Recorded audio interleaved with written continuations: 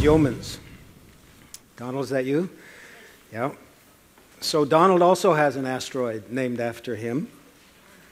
It's number 2956.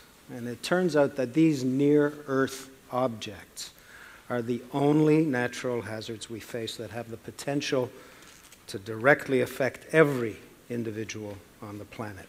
It's the only thing that puts our very existence at risk. And Donald's responsibility and the responsibility of his group is to um, monitor and catalog the estimated 2,000 asteroids and comets that approach Earth and have a diameter greater than one kilometer. So, my question to you, Donald, is if you spot something up there, maybe Richard's asteroid that got its trajectory wrong coming its way, what fuck do we do? Good question.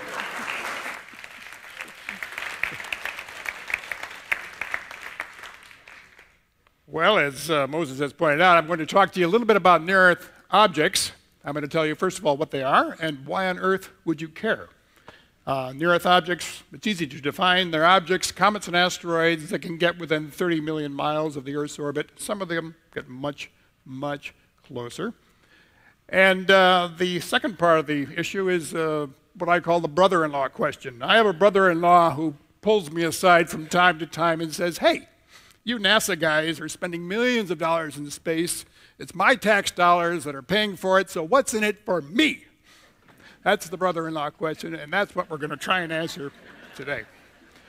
Jack, would you put, introduce the folks to uh, Michelle Knapp and her 1981 Chevy Malibu? Uh, Michelle is not a happy camper. The back end of her car has been destroyed. The insurance company says, no, we're not paying mumbled something about an act of God. Now, it wasn't so long ago when my teenage daughter was living at home, so I think I know how this conversation between Michelle and her dad went that evening. Uh, uh, dad, it's about the car. It's been destroyed. The back of it has been destroyed, but it was not my fault. You see, this big rock came out of the sky and it just sort of pummeled into my car, and that was it. The old man puts down his newspaper and says, Yeah, right. Well, that's exactly what did happen to poor Michelle. The Peekskill meteor of October 9th, 1992, came down over uh, upstate New York. It started out as a Volkswagen sized object above the Earth's atmosphere. The pressure as it went through the Earth's atmosphere on the front side was so much greater than the pressure on the back that it pancaked, fragmented, and most of the fragments burned up in the Earth's atmosphere except for one, which landed in Michelle's trunk. It's about 27 pounds, the size of a football. So we shouldn't really feel too sorry for Michelle because she managed to sell the car and the meteorite for $69,000. yes! now, let me introduce you to Mr. Semenoff, who was sitting on his front porch almost exactly 100 years ago today when another near Earth object disturbed him. This time it was an object about 40 meters in diameter, came down over uh, Russian Siberia. Again, it detonated above the Earth's surface, created a equivalent energy of 12 megatons of TNT. Now, just to put that in perspective, two megatons of TNT is roughly the energy equivalent of all the bombs dropped in the Second World War. What happened? It came down and leveled trees for 2,000 square kilometers.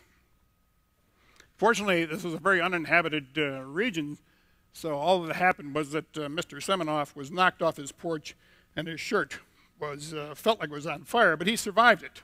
Some reindeer didn't.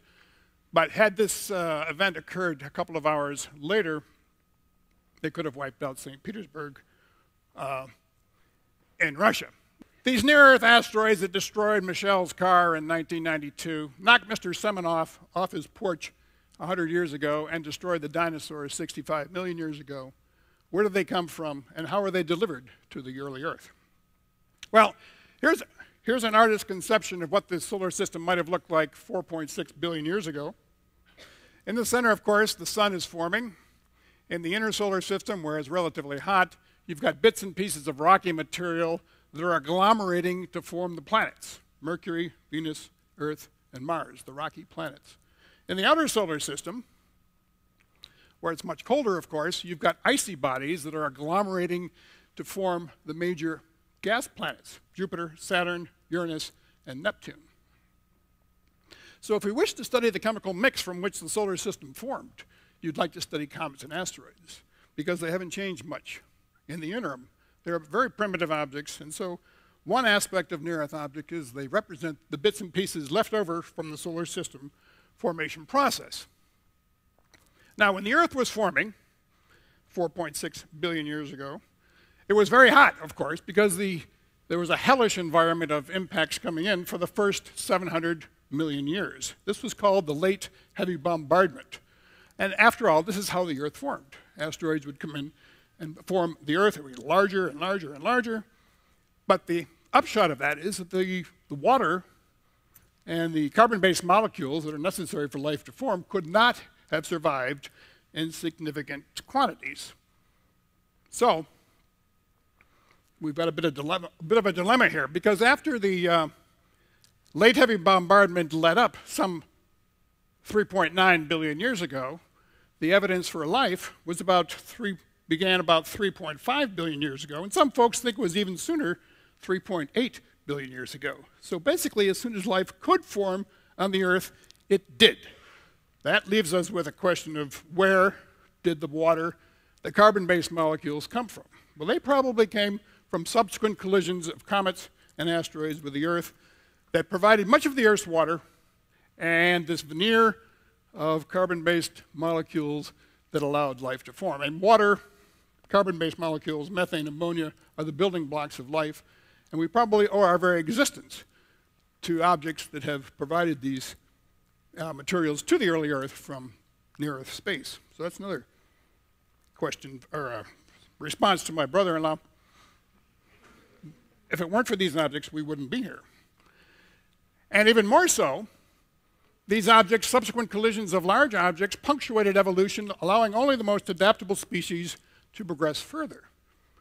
At the time of the dinosaurs checked out, six, 65 million years ago, the mammals were furry little creatures burrowing underneath the ground, staying out of the way of the dinosaurs, no doubt, but they managed to survive. They were adaptable. It was Charles Darwin in the 19th century who pointed out it's not necessarily the strongest of the species that survives, it's not necessarily the most intelligent of the species that survive. It's the most adaptable species that survives. So we not only owe our existence to these objects, we owe our preeminent position atop the world's food chain. Let me explain to you why this object, called Apophis, it ruined my Christmas in 2004. it was discovered in June of 2004, and because it was difficult to observe, it was rediscovered in December of 2004. And we quickly made some calculations, which is what we do at JPL, um, and computed the orbit, matched the observations in in December of 2004 with those earlier in June, and that gave us a long data arc, as we called it. So we did an orbit, integrated that orbit forward in time to see whether it made any interesting close approaches to the Earth. Well, it does in 2029, April 13th, Friday the 13th. Now, initially, it had an impact probability of 3%. We found that out two days after Christmas in 2004, and that's what ruined my Christmas because this is a 270 meter sized object. Were it to hit the Earth in 2029, it would be a 500 megaton event, which is another a, way of putting that into context. That's a Hiroshima type blast every second for 10.5 hours. It'll be a naked eye object, 3.5 magnitudes on April 13th, 2029. Mark your calendars.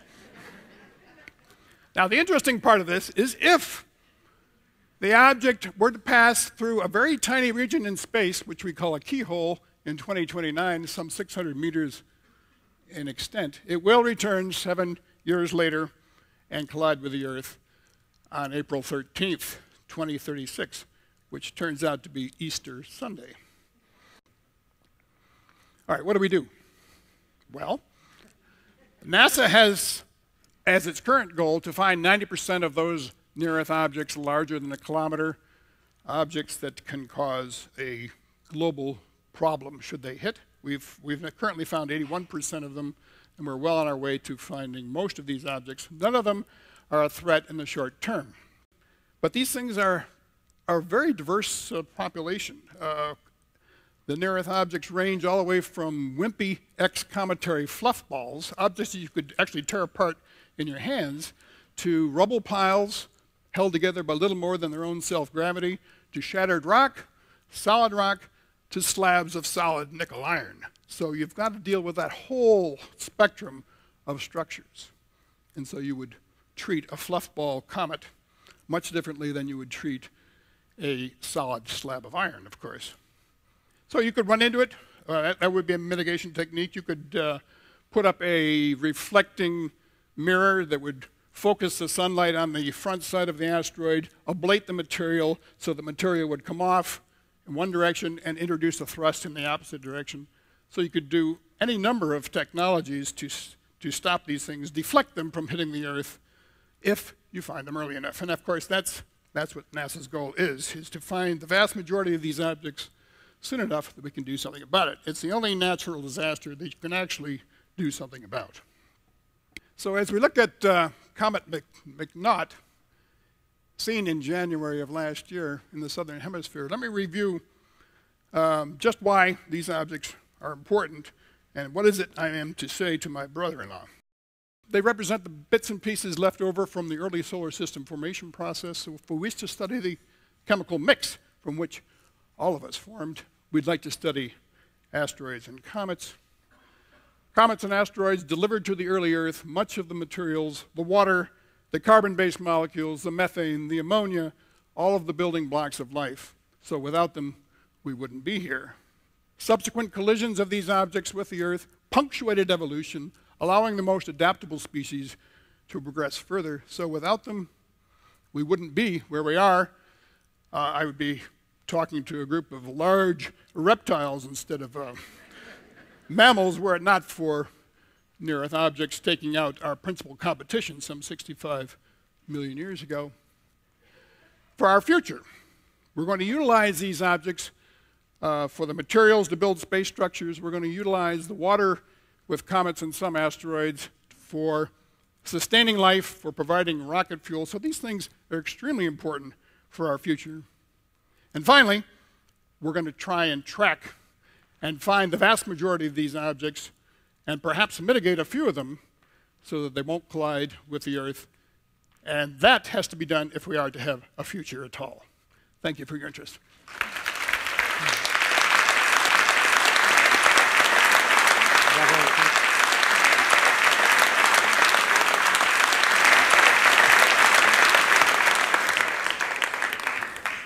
I have one small concluding thought for you.